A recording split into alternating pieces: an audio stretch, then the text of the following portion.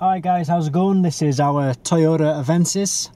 Uh, it's a 2001 model. As you can see though, we have the engine warning light showing on our dashboard, uh, which is less than desirable. So we're going to use the Autel Autolink AL419, see if we can get to the bottom of this, find out why the, uh, the engine warning light is showing there, and we'll get some fault codes from it, uh, which will tell us um, well, the reason for the engine light being on to start with. Incidentally, this Autel AL419 diagnostic kit, uh, it is available just by clicking the link directly below this video.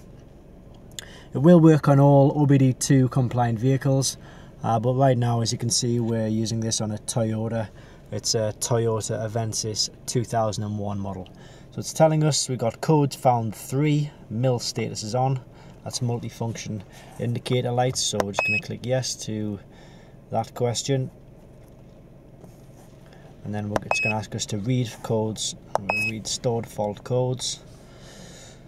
So it's got P0135 uh, O2 sensor heater circuit bank 1 sensor 1 P0155 uh, bank 2 sensor 1 and uh, P0161 bank 2 sensor 2 so it looks like it is a fault with the uh, the O2 sensors which are installed in this vehicle.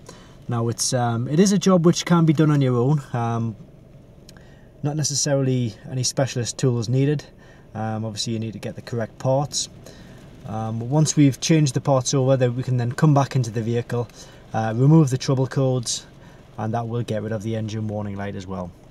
Uh, so that's the Autel Autolink AL419 and it is available just by clicking the link directly below this video. Thanks very much for watching.